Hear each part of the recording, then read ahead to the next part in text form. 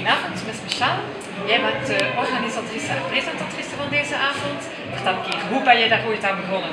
Ja, ik ben uh, zelf dus al 20 jaar travestie ook. En uh, hier in België was er eigenlijk geen verkiezingen specifiek voor de travesties. En op een bepaald moment, 14 jaar geleden, ben ik daar toen mee gestart.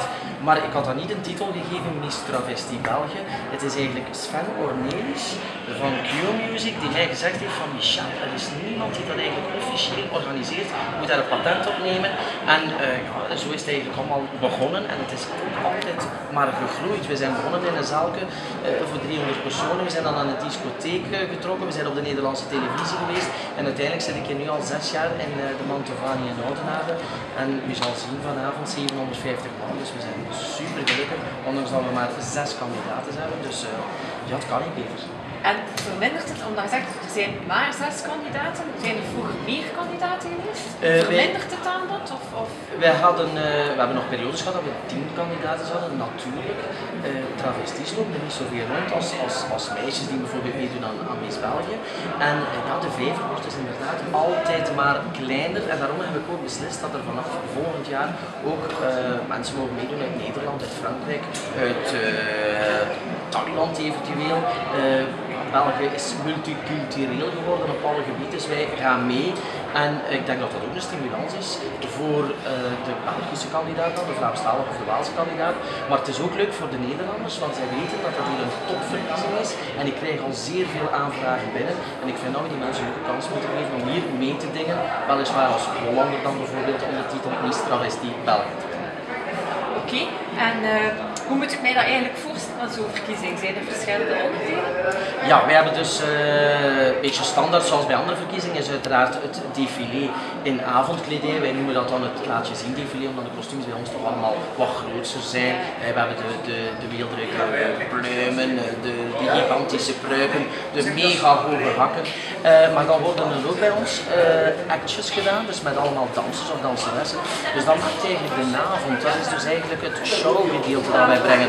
In verschil tot de andere verkiezingen, daar is het eigenlijk constant défilé. Het hoogtepunt natuurlijk blijft altijd het badpakken défilé, hè, want we zijn tenslotte toch allemaal mannen. En zijn alle zes hier echte mannen.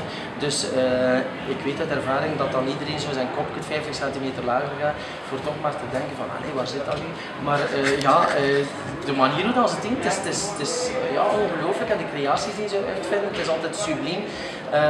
ja, het is een, een, een verkiezingsshow vol glitter, glamour en, en een beetje humor. Wat zou jij aan iemand aanraden die daarmee wil starten met het uh, travestie zijn, met het travestie gebeuren? Ik uh, raad aan aan uh, beginnende travesties van, het, is, het is ten eerste een, een dure hobby, een zeer dure hobby. De kostuums die, die u laat maken, ja, dat zijn unieke stukken. Dus als het een uniek stuk is, kost het allemaal veel meer natuurlijk. je kunt niet een show maken met één pruiksje en één kostuum. Dus je moet constant investeren, je moet constant er geld in pompen. En als beginneling is dat zeer moeilijk omdat je dus de gevestigde waarden hebt onder de travesties. Maar dan uh, qua uh, meedoen aan de verkiezing zelf raad ik altijd aan van kijk, kom eerst twee jaar een keer kijken naar de verkiezing.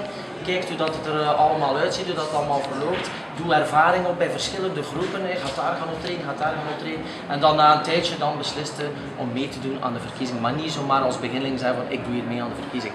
Want wij hebben dus nog altijd een, een topeditie. En het is ook niet bij ons uh, carnavalesk, het is uh, het is, klasse, het is high class entertainment. Ja, ja, oké. Okay.